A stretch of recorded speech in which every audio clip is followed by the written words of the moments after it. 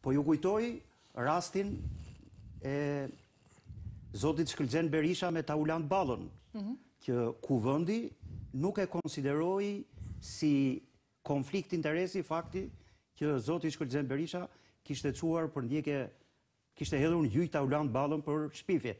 Madje mund t'ju them që Ka një interpretim ligjor të Kuvendit, me firmën e kryetarit të Kuvendit, që këto raste nuk hyjnë te konflikti i interesit. Nuk hyjnë te konflikti. Të firmosur nga kryetari i Kuvendit. Pra për ju është një tentativë e pastër e maxhorancës për të penguar për të penguar hetimet. Hetimet. Me një person i cili kishte informacion të thellë për mënyrën se si është zhvilluar procedura. Pse mendoni që largimi juaj nga komisioni hetimor e ndihmon çështjen në fjalë? Ndoshta prezenca juaj mos do kishte qenë e domosdoshme që të përballnit faktet. Tani kam një eksperiencë të gjatë, kam drejtuar dy komisione hetimore, ky është i treti që marr pjesë dhe që drejtohet nga zonja Tabaku. Me keqardhje e them që komisionet hetimore përgjatë gjithë kohës kanë rezultuar fiasko të vërteta.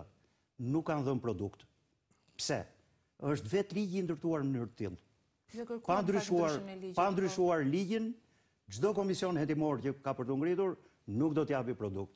Këtu do të jemi, do të shikoni edhe për këtë. Prandaj desha të ndërgjegjësohet opinioni publik, së pari që këtu maxhoranca po bën të gjitha përpjekjet për ta fshehur, mhm.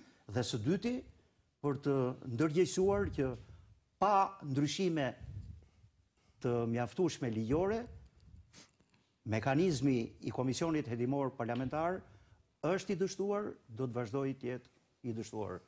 Ndoshta sot nuk do më kuptojnë, por koha do të më japi të drejtë dhe do të vijë te konkluzioni, shpejt do të vijnë te konkluzioni që të nëzirojnë.